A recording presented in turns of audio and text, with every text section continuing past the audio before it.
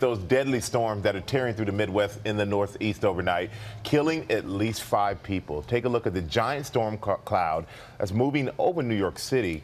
Hundreds of thousands are without power this morning. ABC's Gio Benitez is in Mahwah, New Jersey, where a tree collapsed on a home. Good morning, Gio.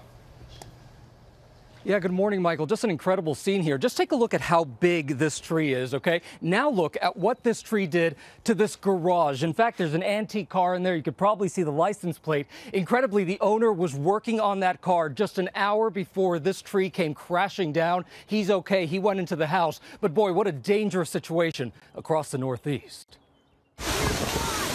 This was the moment that powerful and deadly storm began to wail. You can hear the wind whipping through the trees as debris began to fly. Torrential rains making it nearly impossible to see. Lightning striking alarmingly close to this highway. And a traveler at a Connecticut airport posting this photo. In some cities, every single road shut down. We have trees into houses, people trapped between trees on the roads, trees on cars, uh, everything you can think of. Trees downed, cars crushed, and streets completely swamped. I've never seen anything like this. Plus, thousands of travelers stranded as the evening commute came to a screeching halt. We left D.C. at 5.40 p.m. Tuesday. Now it's Wednesday. Overnight, this train trapped by floodwaters just outside Washington, D.C., marooning passengers for hours the water was was rising and it became kind of it was kind of it got kind of scary for a minute. The massive downpour creating a state of emergency in parts of New York and flash flooding in Baltimore. Dozens of people stranded by the rising water.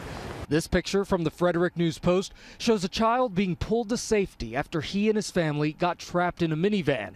And this man was rescued after getting swept away in his car.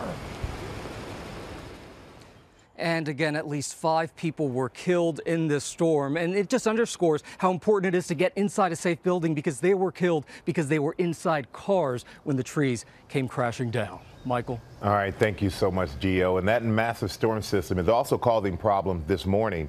G Gina Ginger is tracking it all, and Ginger, Good morning to you. Good morning, Michael. And at least 360 severe storm reports, so many of them from that wind damage. Then the flash flooding. That's the next thing that we've got to worry about. More than a dozen rescues just in Frederick, Maryland alone. You can see three to six plus inches of rain fell very quickly. And that's going to happen for more folks today. Let me explain what's going on here. That same stationary front that has caused all of this, low pressure systems riding along it, kicking up the atmosphere's energy, that's going to keep staying stationary and sit right over the mid-Atlantic. As it's draped there, it's going to allow that low that's coming out of the Gulf to push moisture up toward it, and it's going to squeeze. And you'll see training thunderstorms just round after round dropping up to four inches. Robin? I want everybody to stay safe. All right, Ginger, thank you.